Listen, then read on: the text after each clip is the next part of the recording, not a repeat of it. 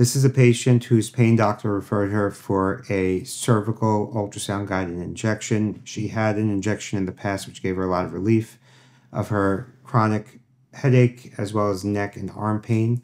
She had ultrasound guided brachial plexus blocks, auriculotemporal and occipital nerve blocks, as well as cervical facet capsule medial branch injections of local anesthetic with dexamethasone.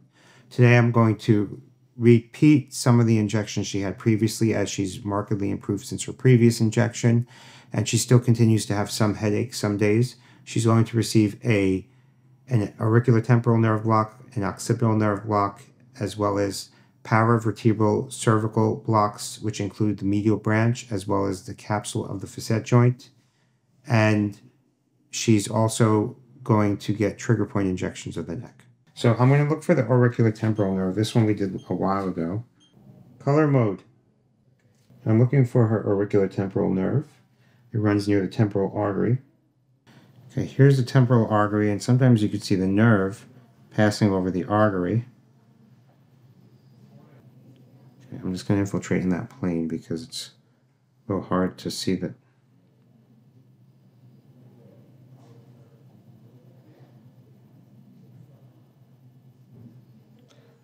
Eh? Okay, a little pinch down, okay?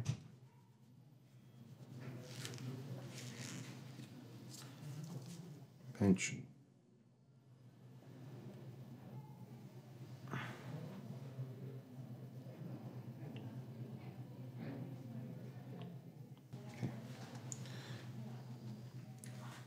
So, prep her neck, go back to her neck. We're going to do the cervical paravertebral nerve blocks and she responded at the levels of C3, 4, 5 in the past. So scan downwards. Here's the highest transverse process would be C2, and going down would be C3 articular pillar.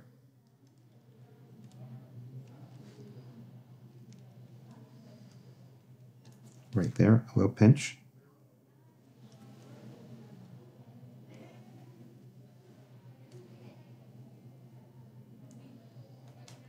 Trigger points on the way in. Needle mode.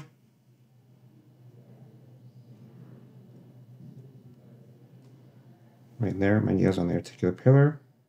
And by the joint capsule as well as some probably going anterior into the foramen. To move down, another pinch.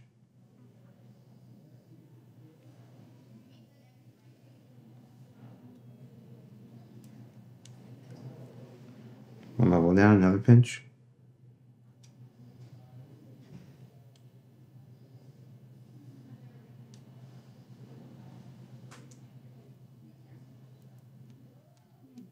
Okay? Mm -hmm. How are we feeling? Good.